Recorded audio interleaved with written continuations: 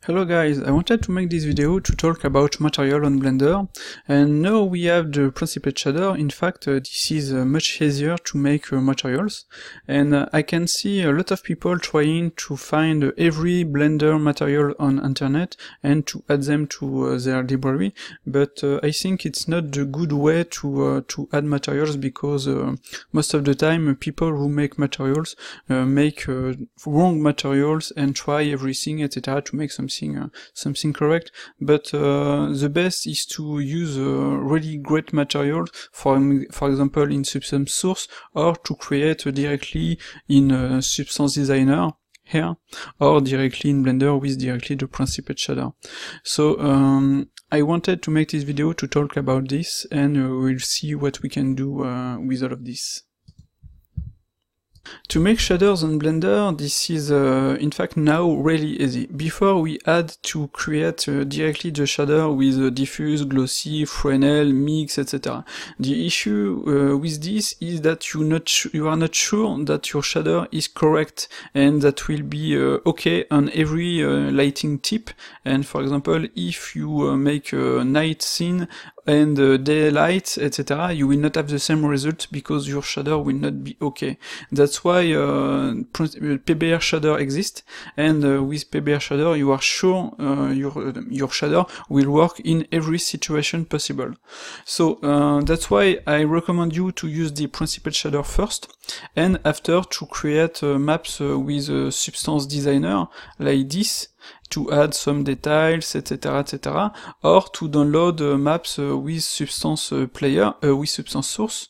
There are some free texture you can you can test, and you can even, uh, in fact, uh, download and edit the the shaders with Substance Player like this. You have some options, as you can see here and with this this is really easy to create your uh, your texture as you can see. And uh, you can directly export uh, it uh, uh, for blender and add it on the principled shader. So for me there is several possibilities and you can do much better work than previously. And that's why you should not download every blender shader made before the principled shader because you can be sure most of them are bad even if uh, it's not all, but uh, most of them are, are bad. So, how I did this uh, this shader because uh, you, I have some details etc etc and I have my object.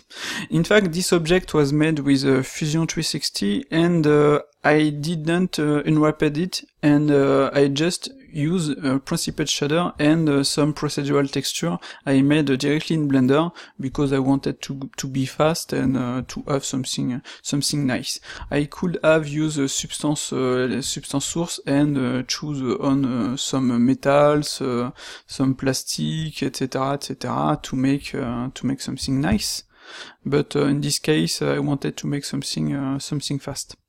So I have my object here, I will show you, I just have first to uh, edit all my groups, yep, uh, Control X, no, it's okay, that should be okay. So I have a principled shader here, I will just select another one, yep, so that's it. I have my principled shader and I have some uh, node group uh, to uh, my metallic and etc uh, etc and a node group for my bevel. I created node group to be able to use the same uh, option for every shader my, in my scene. Like this uh, I'm sure to have the fingerprint here here too with exactly the same uh, the same result and uh, this is a great uh, a great possibility. So if you go in the uh, node as you can see you will have a texture in object mode some mapping to uh, change the size of the texture and um, the texture in box mode. Because in box mode you will be able to uh, to have something nice and I will show you this. I will just copy all of this Hop là, not this. Hop là, Control C. I will exit and I will make Control V, G here. And if you press Control Shift and click, you will uh, make it with Node Wrangler uh, the texture, uh, you will override the shader and you will see the texture in the 3D view as you can see. And this is my texture So I will just do this, okay? And if I click on this one, this is my texture. I added some color ramp to edit it, and a mix to be sure to have exactly what I want, and I mixed uh, the two texture here, and I placed here in the metallic part on this, uh, this shader. So as you can see, this is nice, and uh, that allows you to make a procedural shader, and uh, if you remove the blend, as you can see, I have this, and if I add a blend, that disappear. And this is really nice, this is a great workflow, a simple workflow, and uh, you can have great results directly as you can see. This is uh, this is really nice. And in fact with Eevee on uh, blender 2.8 uh, you can directly create your shader uh, in uh, real time. And this is nice. On blender 279 you don't have um, the possibility to see the environment and you will not have reflection etc you can also of course uh, check your texture check your shader and have something uh, something great. But uh, in Eevee that will be really really great and in fact that will be exactly like uh, Substance Designer. Okay. So as you can see this is simple this is nice. I did the same with uh, the um, the uh, bump and as you can see also, I use a bevel shader in uh, the uh, daily build on Blender. Yep, as you can see. And the bevel shader will uh, give you some uh, some bevels where you don't have bevels. And as you can see here, I have something really uh, really straight. Uh, I don't have bevel in my object, but if I go in my render, I have a little bevel here, and this is this is really nice. So the great workflow, if you want to work really fast, is this. Create some shaders, add some details, save it directly in your asset management uh, library if you want. Yep, like this. You can add some materials, etc., etc. And uh, when using the Principled shader, this is uh, this is really easy. And after, you can, like I said, use Substance Source to uh, create your shaders, and we will see it this now. So Substance Source is not free, but you have some uh, free assets, and you can try it, you can download it directly like this, and that's it, that download uh, the asset, and you will be able to open it in Substance, uh, in Substance uh, Player. Now I'm in Substance Player, as you can see, I have my shader. This is really nice. I can check the textures, here. And uh, sometimes I have some uh, some possibility to edit the, the, the shader, so let's see with this. As you can see, there is some possibilities here. And this is really nice because uh, it's really fast. You can directly edit your texture in Substance, uh, Substance uh, Player, like this. Make it metallic or not, like this and depending on the texture you will have uh, more or less uh, more or less options and uh, now you can directly export bitmaps like this and you can choose what you want. I don't want specular, I want I don't want glossiness, I want roughness, metallic, high, normal, base, uh, base color, no, just diffuse, etc. etc. You can choose the you can choose, uh, there is some options etc. compressions. Uh, I think uh, there is an option to uh, invert the uh, the Y because uh, on uh, on OpenGL, in fact, that, that was that. you have to make, I think, OpenGL. I made a video on um, on my uh, YouTube channel to uh, to export from a Substance uh, Painter, and I think if I recall correctly, you have to uh, use OpenGL to uh, for the normals. But uh, for this, I will just show you this, and that's it. Download, edit, export, and directly in Blender, you just have to to to import it, and I will show you how. Now to add our texture, this is really simple. You will just unwrap the, uh, your uh, plane, if you want to test on a plane, you will add a Principled shader and you will press Ctrl Shift and T and you will select your texture like this. And the texture needs to have the name at the end like this and when you will uh, click on Principled texture setup, that will set up everything for you. And if you add a render, you will have your texture. And as you can see, this is simple, this is one click, and this is fast. Uh, this, the, this is with Node Wrangler, I, uh, like I said, and uh, on the displacement part, um, this is not up to date because on the last Blender uh, build, you have the new shader, a new node, uh, displacement, like this. And this displacement is uh, much better, and you will have a much better result. I will select this and this, so as you can see now I have nothing, um, I will just activate the uh, experimental. I will add a subdivision surface to my surface, like this. I will click on simple, and I will activate the adaptive here. In the shader, I will go at the bottom, and on settings, I will, on geometry, select displacement and bump, like this. And now, if I press 0.1, I will have a really, really great displacement. Like this. And if we don't want uh, this uh, as um, reflective as that, uh, we just have to go in Substance uh, uh, in Substance Player and uh, play with the options. Here, Ah, I have euh, some roughness, like this variation. Where was this? Okay, that was here. So if I want this, I can have this. I can change the color of different part. Each. I should not have edited it like this. Okay, we will keep this. Just maybe like this, okay? Uh, maybe I can uh, edit the, the bump, but uh, since we have uh, a good displacement, this is not uh, we have not we don't have to do this. So I will export as bitmap, and I will export, and that will export, and I will close.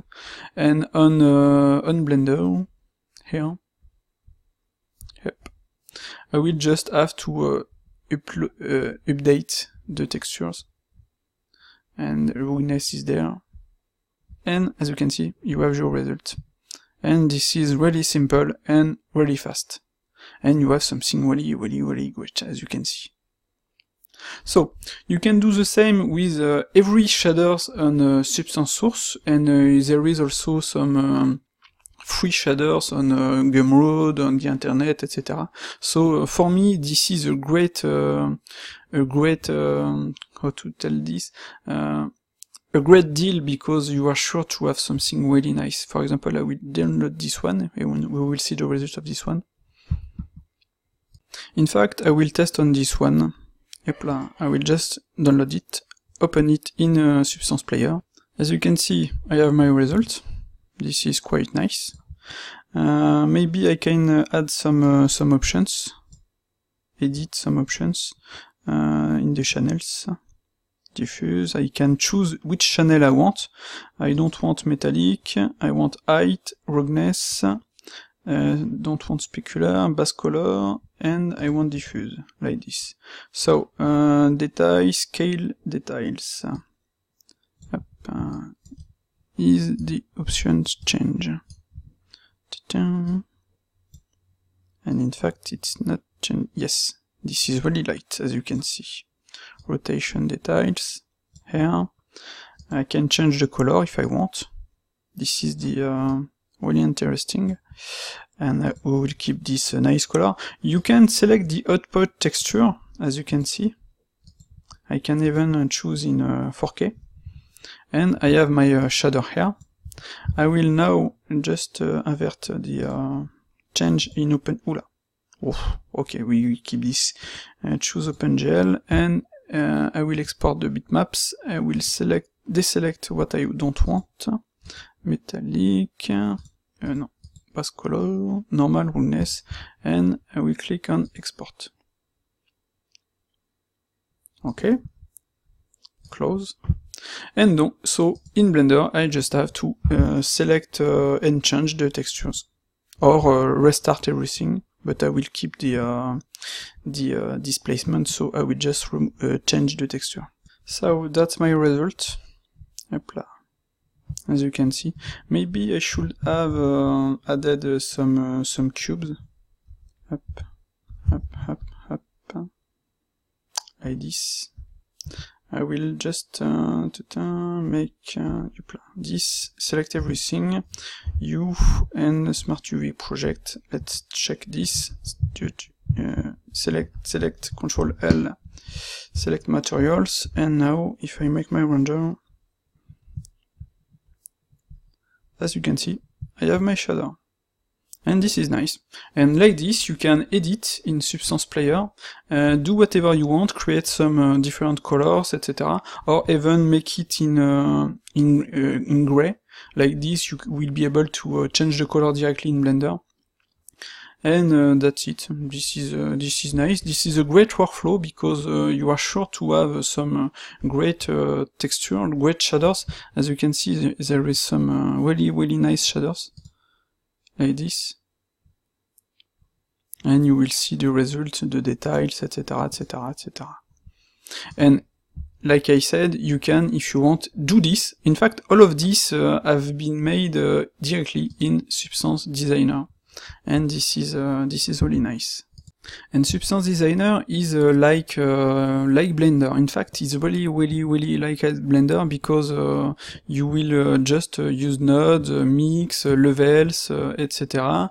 And the difference is that there is some custom custom node groups, etc. That's how you allows you to create some really, really great, great texture, etc.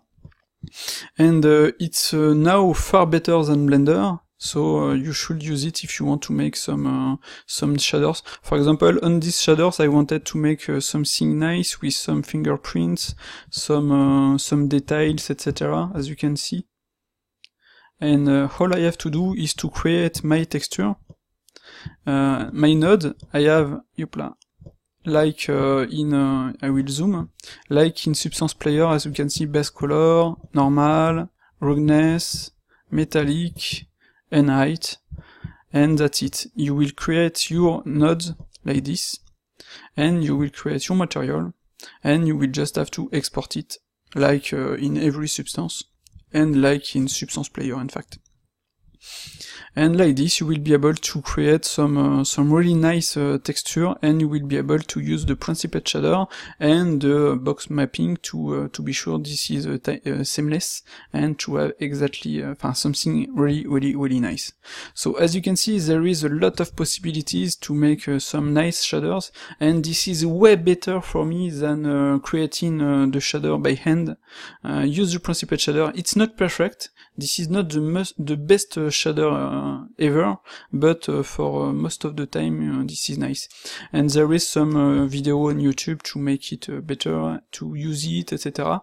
And you should also look at the video to use Substance Player, Substance Designer, etc. And even look at the um, Substance Source pack and uh, download uh, whatever you want uh, if you have some points like me. For example, this is nice, this is nice. Just have to download and Control Shift T and both you have your, your shader in one click or edit it uh, with Substance Player. And that's it. This is uh, as simple as that and uh, you will have some some great result and or some result you will made directly by by hand in Blender with some textures and that's it. And if you want to know how to uh, combine texture, etc., there is also some uh, great video on uh, YouTube, and I made four video on uh, Blenderwood uh, channel uh, to create some materials, and you will see how to combine, etc., etc. The difference is now there is a Principled shader, you don't have to create your shader by hand, and this is much better. So that's it, I hope you like this video, and uh, maybe next I will make a little video to show you the same process, but uh, with Eevee, and uh, in fact this is really simple, but uh, that can be interesting. So that's it, bye bye!